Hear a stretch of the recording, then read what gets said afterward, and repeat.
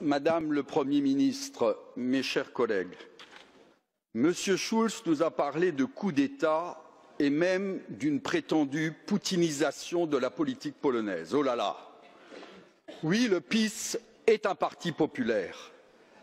L'attaque de la Pologne actuelle, c'est l'attaque d'un système européen contre la démocratie et contre les peuples qui ont choisi la souveraineté, la liberté et l'indépendance dans la solidarité. Des peuples qui croient encore aux racines chrétiennes de l'humanisme et dont l'humanisme n'est pas la fabrication d'un nouvel ordre européen suprême désordre. Oui, la Pologne est un peuple de résistants à qui on doit la chute du mur. Oui, la Pologne et son peuple résistent car elle est conservatrice, elle a des valeurs anciennes et vraies la famille composée d'un père et d'une mère, le respect de la vie, elle croit en la vérité, au droit, à la justice, elle est catholique et non pas libérale entre les mains de sectes contrôlant la société par la finance et les médias. Chers collègues, le système européen est en faillite.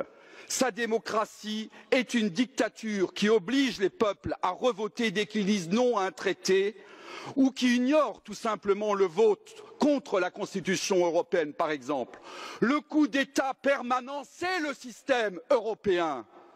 La Pologne, la Hongrie, la Slovaquie, la Tchéquie, les pays amis de la révolution de velours que j'avais rassemblés avant la chute du mur, résistent désormais contre cette dictature, prête à attaquer, déstabiliser, destituer tout gouvernement qui ne travaille pas pour les puissances étrangères qui gouvernent ici et cherchent à gouverner les peuples européens. L'Alsacien que je suis résiste contre également l'arrogance allemande. Nous, les Français patriotes, nous ne supportons plus avec les Polonais qu'un pays, l'Allemagne, décide de l'économie de la zone euro, de l'immigration et de la conformité de la démocratie aux critères du nouveau Reich européen. Je demande à cette Assemblée de retrouver son bon sens. Oui, la Pologne est attaquée parce qu'il y a délit de conservatisme social, humain et chrétien. Croyez-moi, cela ne fait que commencer. La révolte des peuples est lancée. Elle vous balayera. Et c'est ce que vous méritez. L'heure est proche. Das Wort hat jetzt der